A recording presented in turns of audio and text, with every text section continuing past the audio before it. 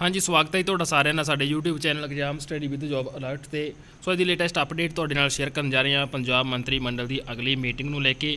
ਸਮਾਂ ਦਿਨ ਸਥਾਨ ਏਜੰਡਾ ਇਸ ਦੇ ਬਾਰੇ ਨੋਟੀਫਿਕੇਸ਼ਨ ਜਿਹੜਾ ਜਾਰੀ ਹੋ ਚੁੱਕਿਆ ਹੈ। ਕਿਸ ਦਿਨ ਇਹ ਮੀਟਿੰਗ ਹੋਣ ਜਾ ਰਹੀ ਹੈ, ਪੂਰੀ ਅਪਡੇਟ ਤੁਹਾਡੇ ਨਾਲ ਸ਼ੇਅਰ ਕਰਾਂਗੇ। ਤਾਂ ਇਹ ਜੋ ਨੋਟੀਫਿਕੇਸ਼ਨ ਜੋ ਪੰਜਾਬ ਸਰਕਾਰ, ਆਮ ਰਾਜ ਪ੍ਰਬੰਧ ਵਿਭਾਗ, ਮੰਤਰੀ ਮੰਡਲ ਮਾਮਲੇ ਸਾਖਾ ਵੱਲੋਂ ਜਾਰੀ ਕੀਤਾ ਗਿਆ ਹੈ।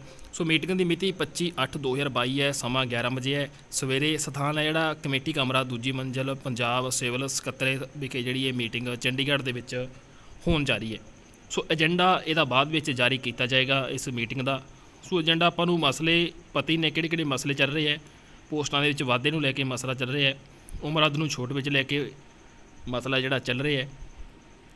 ਸੋ ਨਵੀਆਂ ਭਰਤੀਆਂ ਦੇ ਇਸ਼ਤਿਹਾਰ ਜਾਰੀ ਕਰਨ ਨੂੰ ਲੈ ਕੇ ਮਸਲਾ ਚੱਲ ਰਿਹਾ ਲਟਕਦੀਆਂ ਭਰਤੀਆਂ ਨੂੰ ਪੂਰਾ ਕਰਨ ਦਾ ਮਸਲਾ ਜਿਹੜਾ ਚੱਲ ਰਿਹਾ ਸੋ ਇਹਨਾਂ ਦੇ ਰਿਗਾਰਡਿੰਗ ਹਜੇ ਤੱਕ ਕੋਈ ਵੀ ਅਪਡੇਟ ਹੈ ਜਿਹੜੀ ਨਹੀਂ ਆਈ, ਕਿੰਨੀ ਵਾਰੀ ਜਿਹੜੀਆਂ ਮੀਟਿੰਗਾਂ ਹੋ ਚੁੱਕੀਆਂ ਨੇ।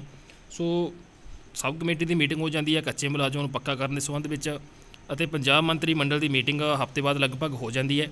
ਪਰ ਇਹਦੇ ਵਿੱਚ ਇਹ ਸਾਰੇ ਜਿਹੜੇ ਮਸਲੇ ਨੇ, ਕਿਸੇ ਦਾ ਵੀ ਜ਼ਿਕਰ ਹੈ ਜਿਹੜਾ ਨਹੀਂ ਕੀਤਾ ਜਾਂਦਾ।